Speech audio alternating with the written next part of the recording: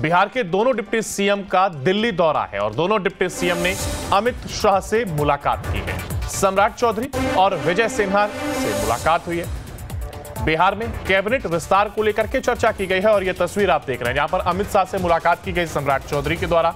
इसके साथ ही विजय सिन्हा ने भी मुलाकात की है। दोनों ही बिहार के नए डिप्टी सीएम के तौर पर पदभार ग्रहण किया और इसके बाद आज अमित शाह से यह मुलाकात की तस्वीर सामने आई है।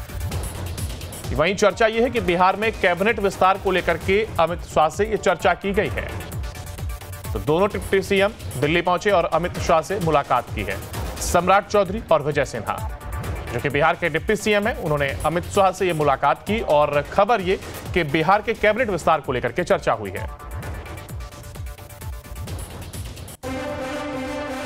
बिहार के दोनों डिप्टी सीएम सम्राट चौधरी और विजय सिन्हा ने आज रक्षा मंत्री राजनाथ सिंह से मुलाकात की है। राजनाथ सिंह से मुलाकात के बाद सम्राट चौधरी और विजय सिन्हा ने कहा, बिहार में एनडीए की सरकार बनने के बाद मार्गदर्शन लेने के लिए आए हुए थे और बिहार में सात निश्चय पार्ट टू में बिहार की जनता से जो वादा किया था, उन वादों को पूरा करने के लिए काम करेंगे। ये बात सम्राट चौधरी की ओर से कही गई है। तो डिप्टी सीएम ने अपनी बात को रखा है। हम आशीर्वाद लिया उनसे मार्गदर्शन लिया है।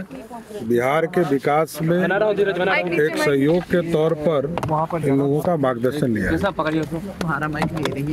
राजनाथ जी ने मार्गदर्शन दिया है पार्टी संगठन से लेकर बिहार में कैसे विकास को आगे बढ़ाया जा सकता है उस पर मार्गदर्शन। हाथ मोबाइल है। इससे।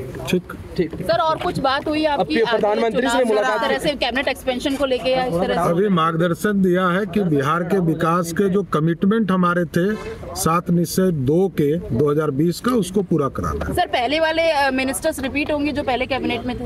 ये तो पार्टी बाद में तय करेगी।